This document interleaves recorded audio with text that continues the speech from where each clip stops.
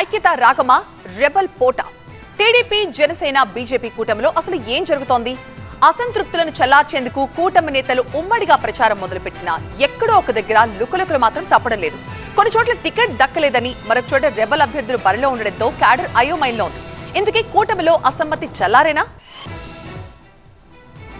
ఏపీలో TDP Janasena BJP కూటమి పొత్తు సీట్ల సర్దుబాటు అభ్యర్థుల ప్రకటన మొదలు ఇప్పటి వరకు పలు నియోజకవర్గాల్లో అసమ్మతి పూర్తిగా చల్లారలేదు. కొన్ని చోట్ల కేడర్ పెద్ద ఎత్తున నిరసనలు రాజీనామాల నేపథ్యంలో ఒకరిద్దరు అభ్యర్థులను మార్చింది టీడీపీ అధిష్టానం.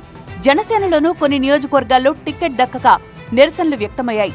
ఈ అసంతృప్తులను చల్లార్చేందుకు ఉభయ గోదావరి జిల్లాలో కూటమి ఉమ్మడిగా ఎన్నికల ప్రచారం నిర్వహిస్తోంది. అసంతృప్త నేతలతో మాట్లాడి బుజ్జగించే ప్రయత్నం చేస్తోంది. కడప జిల్లా రాజంపేట అసెంబ్లీ నియోజకవర్గంలో వింత పరిస్థితి నెలకొంది.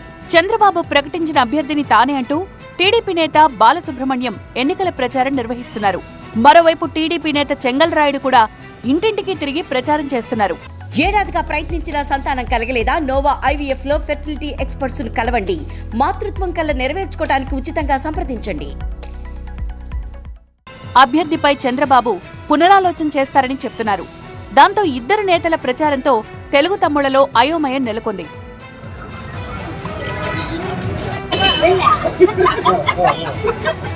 తూర్పుగోదావరి జిల్లా అనపర్తిలో బీజేపీ అభ్యర్థి మాజీ సైనికుడు శివరామకృష్ణంరాజు బిక్కవోలు లక్ష్మీ గణపతి ఆలయంలో ప్రత్యేక పూజలు చేసి ఎన్నికల ప్రచారం మొదలుపెట్టారు.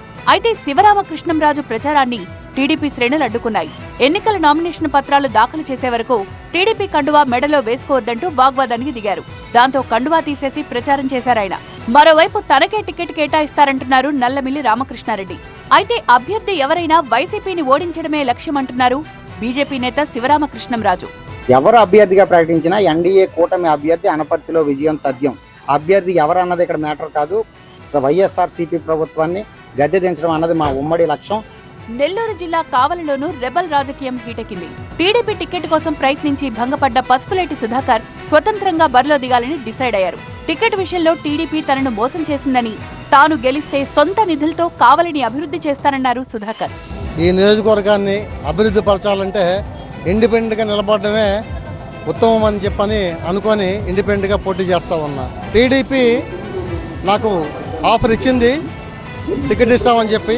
కానీ టికెట్లు కొనుక్కొని టికెట్ని డబ్బు పెట్టి కోట్లు పెట్టి కొనుక్కొని నిలబడి రేపు అవినీతి చేసే దౌర్భాగ్యమైన పరిస్థితి నాకు అవసరం లేదు. పశ్చిమ గోదావరి జిల్లా తణుకులో జనసేనకు విడివాడ రామచంద్రరావు ఝలకిచ్చారు టికెట్ దక్కకపోవడంతో తీవ్ర అసంతృప్తిలో ఉన్న ఆయనతో పార్టీ నేతలు చర్చలు జరిపినా టీడీపీ అభ్యర్థి రాధాకృష్ణతో కలిసి పనిచేయడానికి ముందుకు రాలేదు. పవన్ తణుకు పర్యటనలో ప్లకార్డులు పట్టుకుని నిరసన వ్యక్తం చేశారు విడివాడ అనుచరులు. గెలిచే టికెట్స్ త్యాగం చేస్తారా?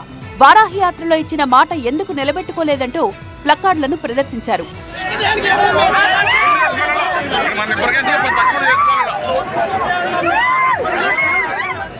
మొత్తానికి కూటమిలో రెబల్స్ బెడద అసంతృప్త జ్వాలలు ఇంకా చల్లారలేదు. అయితే త్వరలో ఇవన్నీ సమసిపోతాయని కూటమి నేతలు చెప్తున్నారు.